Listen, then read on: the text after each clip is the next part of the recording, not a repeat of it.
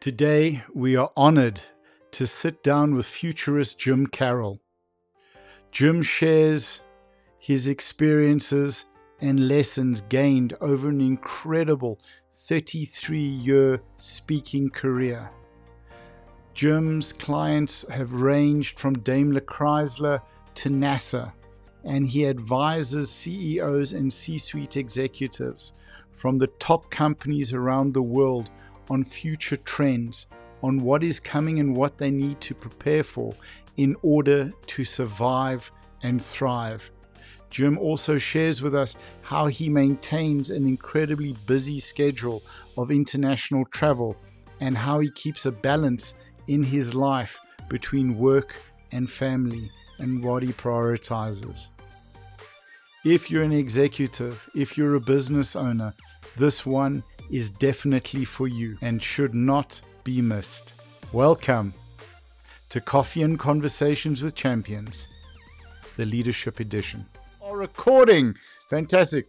So, Jim, it is a huge honor. Hang on, you know, I have to be a nerd and do this.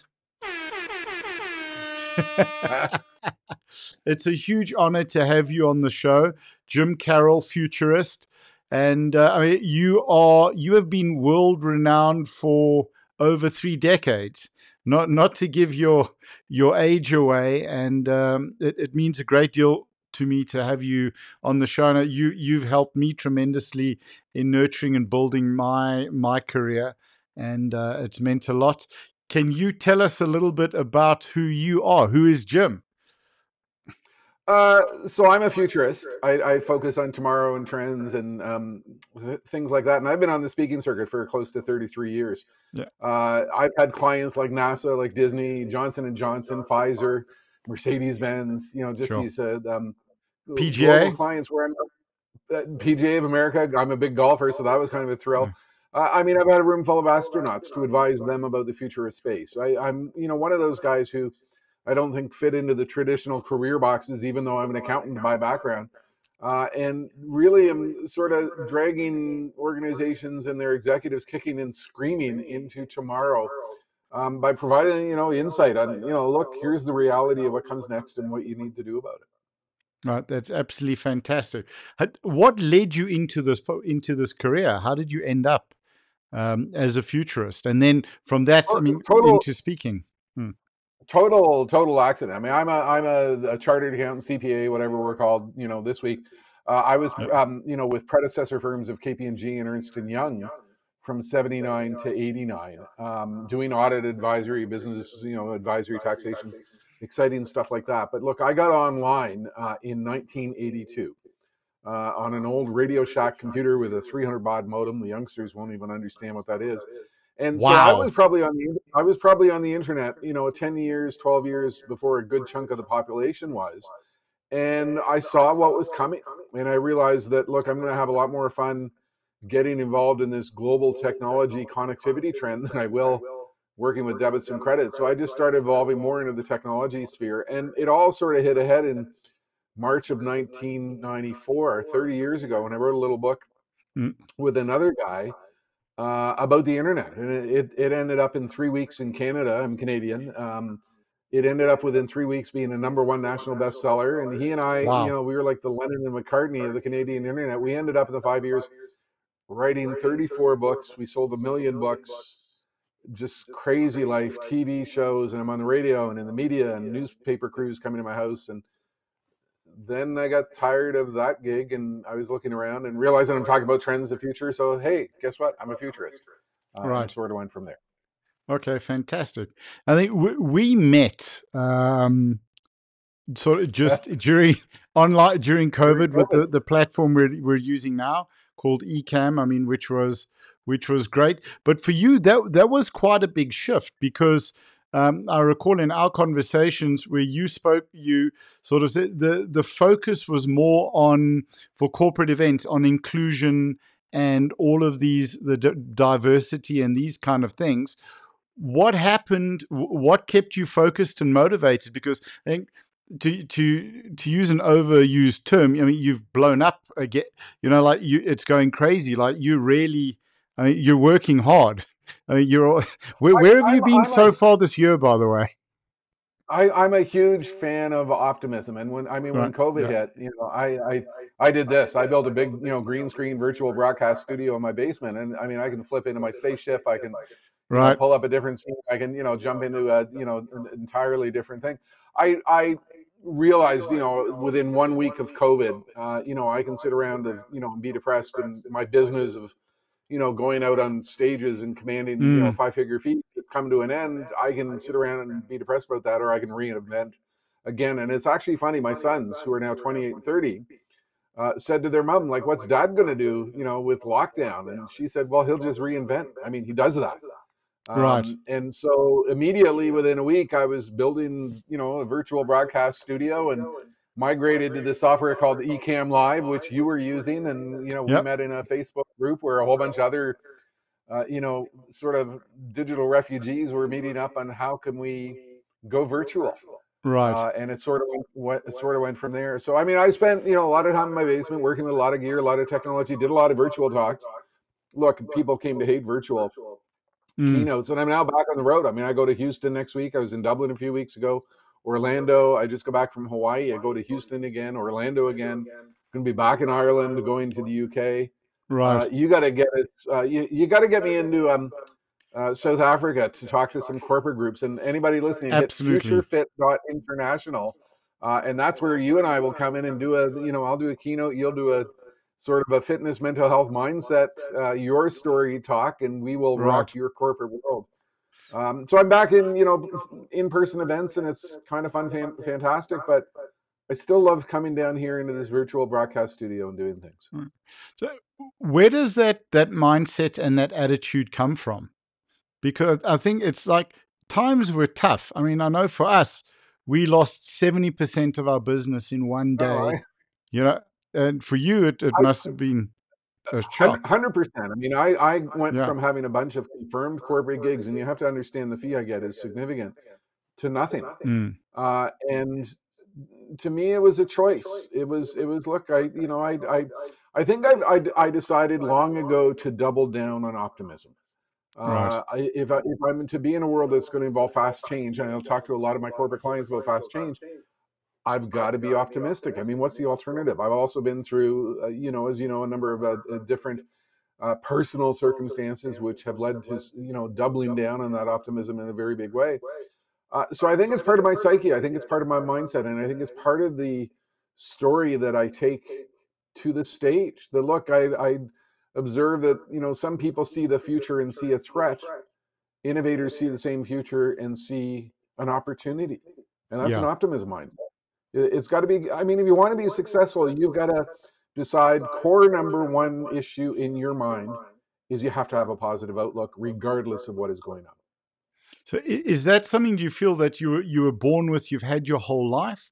Was it something that you, you realized you had to develop?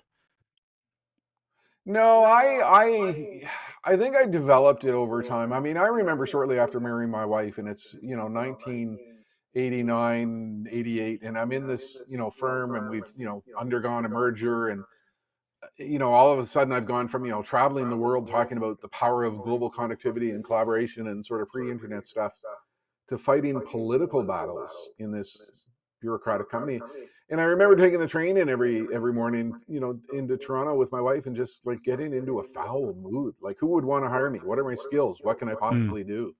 Um, you know, that was probably one of the one of the moments I've had a few, you know, where the lowest of the low, and you know, I sort of figured a way out. I mean, I was able to, you know, quit my job because she had a fantastic career and solid income, and I was able to jump out on my own and make the terrifying leap into entrepreneurship and doing my own thing. Right. Uh, and you know, had did have the good fortune of of writing a national bestseller and having life explode from that point. right. That- There's been a few instances along the way. I mean, post dot com collapse, recession Yep. of 2001. I mean, my business collapsed. It went like that. Um, again, and what we did at that moment in time was my wife and I, and uh, you know, took up skiing with our young sons because I decided number one, I got to keep my head screwed on right. I mean, I can't Right. sit around and you know complain about the fact the business has collapsed. Let's number one take care of mental health, and from that will flow the optimism, and that will flow from you know another business reinvention. So how important is prioritizing yourself to success? I'd say it's pretty darn important. I mean, I Mm. I remember, you know, late 1999, something like this. This is when the dot com years were blowing up, and you know, people were suddenly becoming millionaires in these stock plays. And Yep. I had the opportunity to do that, and instead, we were my wife and I were driving with our sons to Washington to go see the Air and Space Museum, you know, full of spaceships. And I was, you know, realizing that it's more important to double down on being a great dad and and you know the love for my wife and doing the right things as opposed to chasing the money. Right. Uh, and I think I've had a few lessons like that along the way that it's more important to be successful by understanding the roots of your success than to be successful by trying to chase some image of success. If that makes any sense. So it does, I mean, that speaks to gratitude, right? Oh gosh, yes. I mean, I I I I'm thankful every freaking day. That's a Canadian phrase, freaking. Um, Yeah. you know, I get up and you know these pinch me moments, and uh, you know, I, I'm 64. I mean, I realize I'm sort of probably on the sunset of my career. You know, if I can get out and do this for a good five more years or something, I'll be thrilled. Uh, Another 20 at least. Yeah. with, with absolute gratitude on on Yeah. you know the fact I've done the right things, and along the way I've you know mostly made the right decisions. I've doubled down on my optimism and things like that. Right. So if we talk sort of about what you speak about and what you do, AI is now quite a big part of that. And it's interesting to see because I, I see a lot of um, where we spoke about you coming out here and speaking to companies. I think it's absolutely vital because it, to any company in the world, you, for me as a small business and just running our small team in a couple of the businesses that we do, the prospect of what AI tools to use, how to use them correctly, what are legitimate tools, uh, and it, it's terrifying and it's daunting. And you put out a post, uh, you shared a video, I think that you, you did at the um, the cattle. I want to say the cattle barons. Uh, Well, going there's back, the cattle barons, three thousand cattle ranchers. You know, Yeah, the cattle dollars ran- yeah. cattle were in the- Uh, the So you know, we you, you spoke about finding. You have to pick a partner. You you have to find advisors, the right guys to work with. I mean, how how important is that?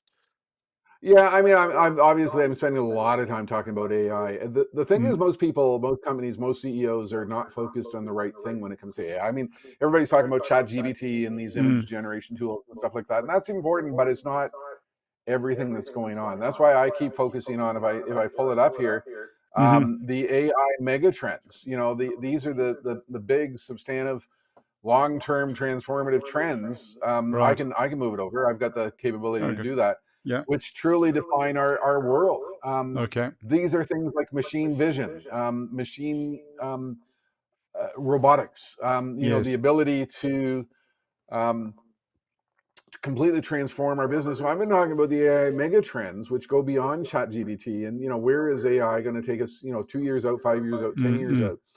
And so, for example, I'm in Houston next week with a big, um, massive insurance conference, a whole bunch of CEOs, and I'm going to be talking about the fact that you know, really, where AI takes us is in, in the insurance industry, is it turns it completely upside down. We're going from a world in which we underwrite insurance based on what you did in the past, so past driving behavior or a urine test, blood test for, for life insurance, to underwriting people in real time. I mean, if I got a blood pressure cuff and I've got a diabetes monitor, if I had you know Mm. blood glucose, and you know if you're monitoring my health in real time and I'm showing good numbers, you will underwrite my life insurance based upon that real time information. If I'm driving, Wow. you're going to underwrite the car based upon my exact current driving performance. That the insurance industry completely upside down. And the same Right. type of thing is happening in every single industry. The thing is, with so many CEOs and senior executives focused on Chat GPT and you know how do I search and, Yeah. and that's that's cool, but that's not the biggest part of what is happening out there. So I'm, you know, last year a lot of organizations were bringing a lot of speakers who did cool little talks on here's Chat GPT, look at the cool things he did. Mm. They're realizing, whoa, this is bigger than we thought. The Jim Carroll guy's putting it in perspective. Let's bring him in. Right. Absolutely. It, it it's because also I think you you spoke quite a bit about the the speak the speaker industry, the event industry, and and how that is going to be affected and changed. And it, it it's, I- I missed- quite interesting. Yeah. I missed you briefly there. Your voice dropped it. Oh, so so the um just where you spoke about the speaking industry, the event industry, and how AI is going to help alter that and change that and empower be- better production and better content. I, I think that's sort of a thing beyond um, AI. I mean, AI is playing a role in hmm. that, but I, I, I mean, I had this post where I was talking about the Taylor Swift effect. Look, I've got two daughters-in-law, and they're Taylor Swift fans, and so I'm a, I've become a Swiftie. You know, um, she's a remarkably smart, intelligent businesswoman. But if you hmm. look at the Eras tour, and you look at the staging, and you look at the, the presentation, and you look at the performance, and you look what's happening with younger generations going to conferences. I mean, they zone out in the in the first two minutes if you're not engaging and interactive. So you've got to work really hard if you're doing any type of corporate event or association event or conference convention event to draw the attention of people. I call it the Taylor Swift effect. Yeah, we've got to have the best. We've got to have the best you know production we've got to have the best content you've got to be engaging and the same thing holds true for virtual i mean that's why i can you know jump in my spaceship and you know talk from here um right. you know, to, to you know turn into completely different things you know using utilizing the magic of all this technology the world is changing attention spans are collapsing people think differently they act differently and you know regardless of who you are and what you're doing you've got to align um, to that reality i mean it's you know and here i am you know uh, while we're talking Mm. Perfect example what's going on. I'm, I'm sitting here, an email came in, and I'm zipping off, you know, while I'm talking to you to look at the email. How rude is that? But that's the nature of our world today. When I'm on stage, yeah. I mean, I can see people looking at their phones, and so I'm going to how can I make those phones a part of my presentation by doing some text message polling, for example. Right. So, how on that point, how dangerous is it for CEOs and execs, your C-suite guys, to be following the trends that are popular, like ChatGPT, where they're giving all of their attention to that? Oh, very dangerous. Look, my mm-hmm. phrase, a guy like me is a phrase machine. Here's my favorite. Uh, we are now in a situation in which companies that do not yet exist will build products not yet conceived, using materials not yet invented, uh, with methodologies not yet in existence, with embedded AI intelligence right. uh, that is still being defined. I mean, that's the reality for any CEO. It doesn't matter if you're insurance, if you're banking, if you're manufacturing, if you're agriculture, uh, if you're some sort of science-based product organization, food, consumer products. I mean, there's some guy or some lady in a garage right now who's going to reinvent your entire business model with AI at the heart of it, and it doesn't right. involve necessarily ChatGPT and the cool trends. Mm-hmm. It involves the big AI megatrends, and so that's what I've sort of been out there preaching, and I think that's what more and more people are starting to pay attention to. To pay, okay, hundred because this can, I mean, you know, sort of be as devastating to companies as cell phones and portable cameras were to Kodak. I mean, you, you can you can disappear very very quickly. Yeah, I mean, you could be blockbuster right now, and you're in that zone of complacency that you're not really yeah. thinking about right. what comes next, and that's why more and more of my events are corporate events where the CEO is starting to realize they've got big issues. They've got to, you know, you know, educate their team, come up with a real plan. So, I mean, in Dublin, uh, I was with a global pharmaceutical clinical trial company. I mean, they did the clinical trials for for Pfizer for the for the um, BioNTech Pfizer vaccine. They realize AI is going to fundamentally change their industry, mm-hmm. and they mm-hmm. realize they either should be the ones to define the future of the industry as it will be around AI, or they're going to be a follower. And so they found me and brought me in to give the opening kickoff to get them in the right mindset for this big, you know, global corporate event that they had. And what is the the results that you're seeing talking to people about this, talking to the CEOs, the C-suite execs? What what is this having on them? This effect, sort of before the talk, you talk to them, and afterwards. What are they I, saying I, to sort of at the cocktail party? I, I, can I can point to organizations that get it. I can point to organizations that do not. I mean, I've got one right. company I'm watching that you know I went in sort of a, with a message that you could be Amazon. I mean, you're a wholesale business, and you know you could be in a situation in which you know what you are sell, an Amazon type company could come in and do it in with a different business model. They're not doing well. Uh, they mm. didn't listen. The CEO was complacent, full of hubris, you know, full of a sort of an arrogant mindset. Um, I look at NASA. I mean, look what you know what happened last week, where the, mm-hmm. this private commercialized space company landed on the moon. Uh, and when I was with NASA, the topic was the commercialization of space. And you know, I mean, the mindset. The first time I went in there was their mindset was only the Russians, Chinese, and Americans are in the space industry. Some of them could not conceive that there would be hundreds or thousands of commercial space companies that would get in the business of space. Right. Uh, and you know, and looking back, I think the senior leadership team at NASA did come to understand that in a very significant way. I've been with automotive companies that you know I look at them, to, Chrysler, Daimler, Chrysler, which was the merged mm. entity of Mercedes and uh, Chrysler. I mean, there's a lot of car company executives who are in just in denial. New York Times had a post just this morning that essentially Chinese electric car manufacturing companies are going to obliterate Detroit and Stuttgart and Tokyo mm. car manufacturing companies. Probably true because they're in that zone of complacency. Right. How do you keep your energy up? I mean, you've got incredible energy, incredible vitality. I love uh, seeing your morning pictures. You're up early. What time do you start your day? How do you, how do you keep that energy and that passion and that drive? Because I know you say you're in your 60s, but you know you come across as someone who's in their 20s. Yeah, I'm gonna I'm gonna pull up a picture. I got I'll, I'll uh, give me a second here, and I'm gonna pull up the picture of what I sent you this morning. Yes. Uh, so you know, here I am at. Uh, uh, if I can, there I am. There's my uh, Eminem moment at uh, you know six fifteen this morning. Right. Um, you know, I uh, I uh, what time are you up? You're like four four thirty. I look at your post and it's like, yeah. you know, Nick. Yeah. I'm I'm a five a.m. person. I mean, I discovered right. the the beauty, the joy of you know chasing the sunrise and the sunrise in splendor, as they say. Um, and it it truly has transformed my view of the world. I mean, I get out there for a, you know seven eight kilometer walk every morning as the sun comes right. up, chasing the sunrise, and I just sort of sets the tone for the day. Right. Um, I used to be someone you know waking up later in the day and full of thoughts and recriminations and you know what happened the day before. I'm away from that now. Yeah. Uh, you know, absolutely wonderful, and I I think you know I'm using a lot of that time rather than rushing into work. I'm using a lot of that time to think about what I need to be thinking about. Right, 100%. How, how do you balance your sort of work life? Because I think, you know, when given what we've been through uh, w- with COVID and when things shut down, and suddenly where, where business picks up and, you know, p- people are realizing the value that you can bring, so you're in tremendous demand.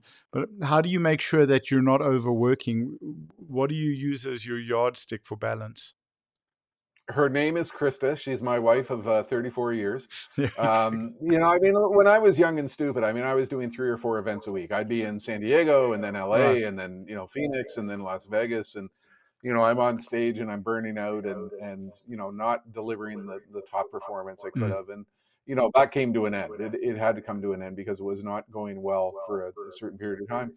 Uh, and yeah, I mean, she helped convince me that look, I mean, you're 64, buddy. You can't do that anymore. I mean, you you also manage it through your fee. I mean, it is not inexpensive yeah. to bring me in. If you look at my client list, if you look at my track record, mm. you look at the organizations that are booking me. I mean, I it takes a very significant investment um, to bring me in. Eh, the client list shows that you know organizations find value in the investment. So I mean, it's a number of things, but it's it's probably having a good grounding with family and life balance and out, mm. outside activities, outside work, and all those things.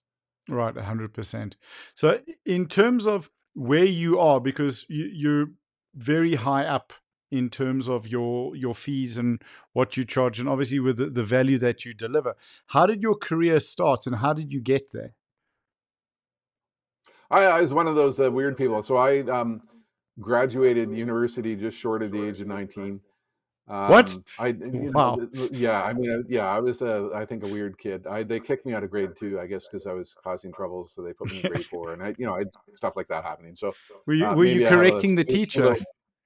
Yeah, maybe I have a few little brain cells up there. So I mean, I you know jumped straight into a career as an accountant. I was a Canadian chartered accountant at the age mm. of 21, and you know, did a lot of stuff, uh, uh accounting advisory, tax mm. business advisory, which gave me a firm business background. I mean, when I go in with a CEO um, you know, I mean, I do understand business strategy, financial, you know, all that mm. stuff, but it was it was the discovery of what was happening with technology in 1982 that you know really defined my future. It's like that moment when Steve Jobs spoke to um, um, uh, John Sculley, you know, who was the CEO mm. of Pepsi. Do you want to sell sugared water the rest of your life, or do you want to get in the ground floor of something that is going to transform society? And I think that's right. sort of the mindset as I had and I have friends saying, "What are you doing, throwing away a perfectly good career as an accountant? Like getting yeah. involved with this computer stuff? It's not going to go anywhere." And well, actually, it sort of did. Yeah, a uh, little bit. a little bit. So I mean, it was making some good decisions along the way. Right. Okay. And then, did did you set sort of your value based on what you knew the value that the your your fear based on the value of what you knew you were delivering? Because I think for a lot of No, I young mean, speakers, I it's think, Hmm? think about a 33 year career, Nick. I mean, I played the clubs. I mean, I did a yeah, lot of things in, you know, small events in Iowa, um, you know, right, small events in Saskatchewan, Canada, you know, with 50 people in the room. And, and, you know, when you get to a, when you get to a, you know, an event where you're on a stage in Las Vegas, mm, uh, I can probably pull up, um, an example clip and your name is up in, in, you know, big lights. Um, that doesn't happen overnight. Yes, um, you know that takes years. so I, if i show you this i've got this one clip where um, i'm walking on stage to this massive conference. you, can, you ever notice that you can never find what you're looking for when you're looking for it? Always, um, particularly on a always. Mac. but well no it's just i, I didn't have this uh, queued up right. So here i have Right. so if i um I'm going to pull this in. I'm not sure the hmm sound is going to come through, but give me a moment and you know we'll see what happens. So I'm, again, I'm going to go to a blank screen. It's going to go green for a moment. Cool. Uh, then I'll drag it in, and this is this is how weird my life became all of a sudden.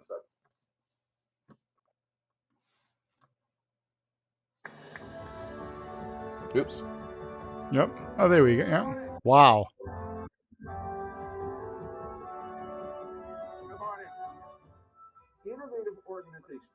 I mean, you know, that's that's what happened with me. I I, I you know remember walking out on that stage. It was Burger Mm, King's global franchise conference. They actually had right. Leonard Nimoy as Spock in the night before, so they built him, literally built him the bridge of the Enterprise. And I remember backstage and thinking, like, wow, it's finally happened. That, that was in 2009, and that's Right. when things really began exploding, and I could command a very significant fee. Okay, that's absolutely fantastic, Jim. Just you know, I know I know we we pressed a little bit for time, but for you, what sort of three things would you advise CEOs, C-suite execs to keep an eye on, to look out for, uh, in and maybe that's not looking at something uh, while looking at something else. I, I'd number one watch the next generation. You know, I mean, my sons are 28 and 30. They live in a different world. You know, any industry, it's the, you know, the 25 year old who's grown up in a different era, different time, different world. Um, uh, you know, watch what they're doing, understand what they're doing because they think, act differently. hmm Um, watch the people in the garages, watch the edges. You know, a lot of the innovation and the trends in the, fu- you know, that are defining the future are occurring out there in the ubiquitous uh, garage and kill Right. your organizational sclerosis. I mean, a lot of organizations are stuck. Um, you know, they they I, I have a joke I tell on stage. I think in a lot of organizations, there's people who wake up in the morning and the very first thought that comes to their mind is, "What am I going to do today to kill great ideas?" I use it as a Mm, joke, but it's probably true. Uh, we right. have a lot of organizations that are stuck in rut, uh, and you know, I, you know, Nick, my my goal is to get on a stage with you over in South Africa. So hit us up at futurefit.international. I think that's the right website, and you know that's Yep. where they can discover that you and I can come in together and do a an absolutely um, fascinating little talk um, One hundred to help them do the right things they need to do to align to this faster future. You know, I think it, it it's so vital because I've seen from I spent 15 years in financial services and I've seen how those industries have changed when Liberty launched its franchise model, how many franchises there were that no longer exist and just guys stuck in how it was done 20, 30 years ago. And uh, not as a sales pitch, but as a perfectly frank pitch. In investing in you doing a talk by a company is in them is an investment ensuring that they're going to be around potentially in five to uh, in five years because that's how quickly things move. Oh, fantastic! Let me just move that out Yeah, of the way. it, Yep. you. I know you and I have talked about this for for a long time, and I, you know. I, I, I, I am stunned by the complacency that exists out there with a lot of organizations. I'm stunned by how many organizations that thinks the way they're doing business today or the business model they have in place is what is going to exist tomorrow. That's not true. Uh, and the fact is, change is happening faster than ever before. So you need to align yourself um, to to that reality. So you know, hopefully we can uh, we can you know get together at uh, you know some event. Yep. Absolutely. You know, I know insurance is one. You know, insurance banking is one of your biggest sectors over there. And yes. look, I'm headlining a massive conference in Houston next week. I've got CEOs of most of the major world um, insurance companies in the room, and my message to, to, them is, the future belongs to those who are fast and yeah. you know are prepared to make, make big bold moves. That's what organizations need to do. Absolutely. Your responsibility to your staff is to move fast. You know, that's, yes. yep. yeah, to look after them. You know, that's a fantastic point uh, to end on. I really do appreciate your time and uh, thank you so much. And I'm just going to end the recording and then we'll chat quickly. Thank you, Jim. Appreciate you being okay. here.